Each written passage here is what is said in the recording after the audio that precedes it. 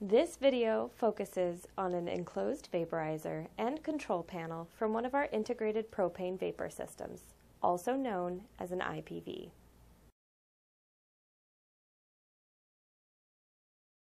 Welcome back. As uh, part of one of our current projects, we have this vaporizer cabinet. And let me show you some of the neat things about this. Um, this is actually a six-door cabinet, three on one side, three on the other. All the doors lock. Let's open them up and lock them. Basically, what we have here is three explosion-proof vaporizers. Each vaporizer is about 10 million BTUs an hour capacity, so for this particular unit, 30 million BTUs an hour. But let's dig in deeper here. Stainless steel inlet tubing, Swagelok components.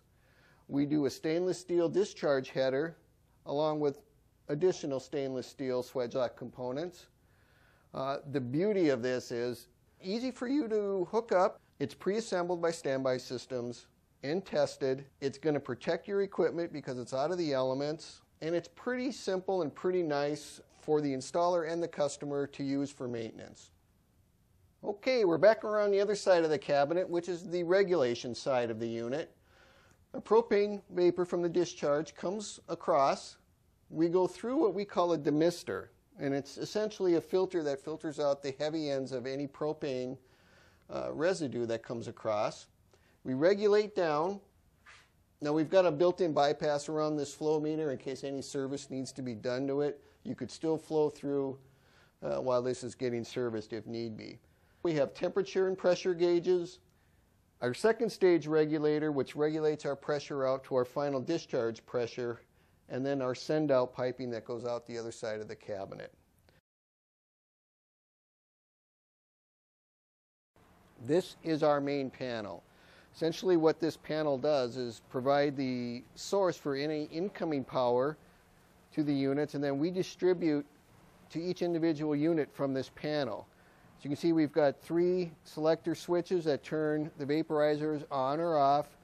We actually have a pump start uh, for this unit. And if we come over here, we can look inside, a closer look at this panel. Panel features a main disconnect so we can shut all the incoming power off to the panel. Uh, the vaporizers each have their own circuit breakers. We've got miscellaneous relays and miscellaneous circuit breakers for all the other powered equipment in our unit. This panel is a non-rated panel, uh, which means it's for installation in an unclassified area. We can do a Class 1 Div 2 version of this panel. And again, some of the other features of this panel is it incorporates our main ESD system, which shuts down process valves and equipment at the push of a button, either here on the panel or remote mounted buttons that we have located throughout the system. Thanks for joining us.